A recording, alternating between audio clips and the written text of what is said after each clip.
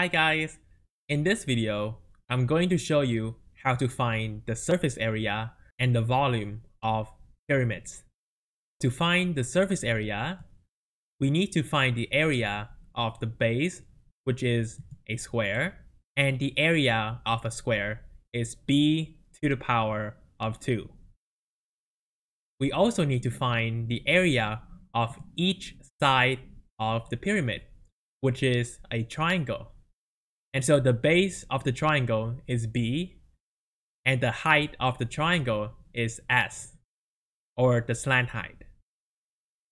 So how many sides are there to a pyramid? There is one, which is this side, two, three, and four. So there are four sides or four triangles in total in the pyramid.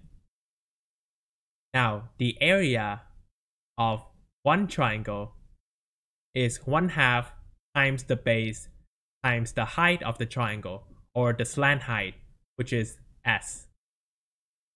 Since there are four triangles in total, we need to multiply by 4. So 4 times 1 over 2 is 2.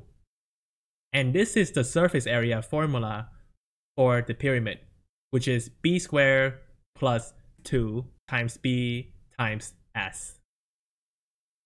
Let's say that the base is 10 centimeters, the height is 12 centimeters, and the slant height is 13 centimeters. What is the surface area? So we can use this formula and we know that b is 10, so we can substitute the number 10 into b here and here. Now s is 13, and so over here, 10 to the power of 2 is 100.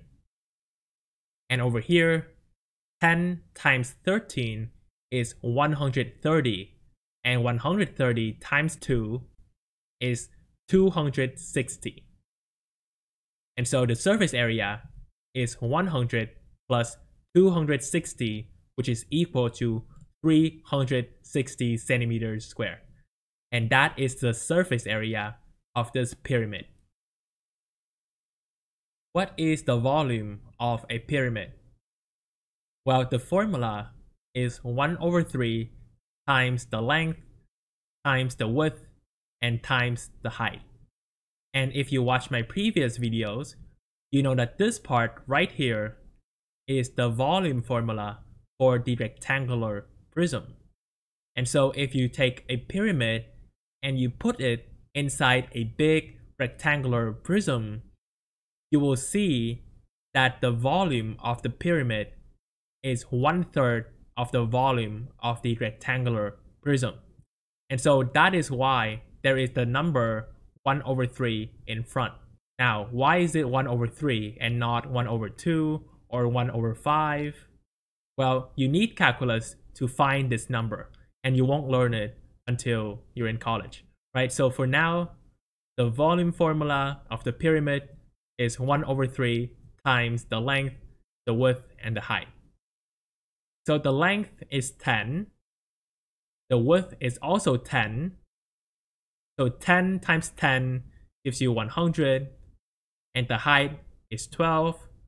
So 12 times 1 over 3 gives you 4.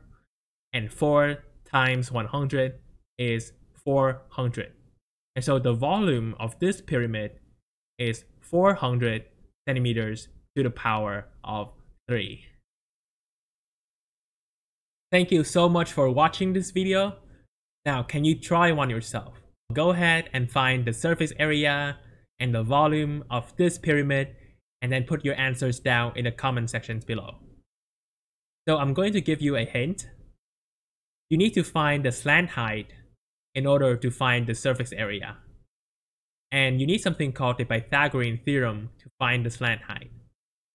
So if you have a right triangle, which is this triangle here, that is the right triangle, you can use the formula a squared plus b squared is equal to c squared to find this slant height.